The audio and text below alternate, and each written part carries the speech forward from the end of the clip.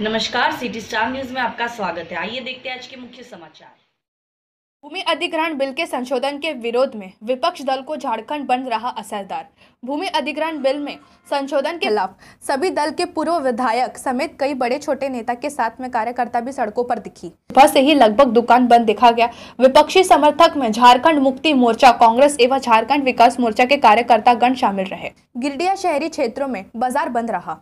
Police प्रशासन भी मुश्तैदी की वजह से कोई अप्रिय घटना नहीं घटी। झारखंड बंद समर्थकों ने सड़क में उतरकर बंदी को सफल बनाने का काम किया। गिरडिया से संजय कुमार की एक रिपोर्ट।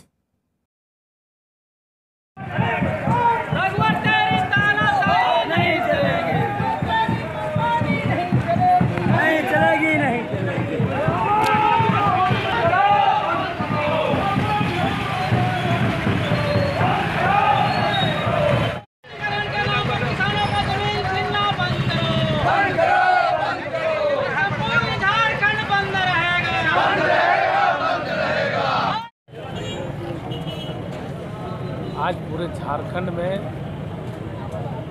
जो भूमि अधिग्रहण बिल संशोधन विधेयक के खिलाफ जो बंदी संयुक्त मोर्चा के द्वारा बुलाया गया है, झारखंड की जनता का अपार समर्थन मिला है और पूर्णतः पूरा झारखंड बंद हुआ है और इससे ये साबित हो गया है यानी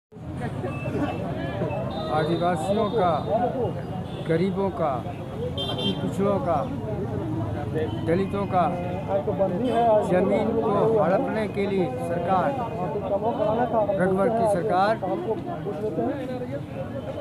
भूमि संशोधन बिल लाई है और पास भी करवा लिया है। लेकिन सारे झारखंड के लोग, जो गरीब लोग हैं, जो आदिवासी हैं, जो बेसहारा हैं, जिनको भूमिहीन है, वैसे लोग और जागरूक लोग, सारे लोग यूनाइटेड होकर के एक सारे विपक्षी पार्टियाँ पाँच जुलाई को सारे विपक्ष झारखंड बंद का ऐलान किया है। और भूमि अधिग्रहण भी जो काला कानून है, जिसके विरुद्ध में आम जनता है, और आज स्वतः बिना किसी का कुछ कहे हुए स्वतः जो है सो आम जनता ने दुकान को अपना बंद किया है दुकान को बंद किया है। तो लोग सभी लोग भाई के पात्र हैं, क्योंकि ये काला कानून जो है सो लोगों को लग रहा है कि ये सरकार निकम्मी सरकार भारतीय जनता पार्टी की सरकार और वर्ग की सरकार ये सारे गरीब गुरबा का ज़मीन को छीन करके माने कारपोरेट घरानों को देने के चक्कर में। आज फूल बंद करो संयुक्त विपक्ष के द्वारा जो बंद का आह्वान किया गया उसमें निश्चित रूप से आज हम कह सकते हैं कि पूरे झारखंड प्रदेश के लोगों ने जनता ने जन समर्थन दिया और जो ऐतिहासिक बंदी हुई, उसके लिए तमाम संयुक्त पक्षों की पार्टी की ओर से और अपने झारखंड विकास मोर्चा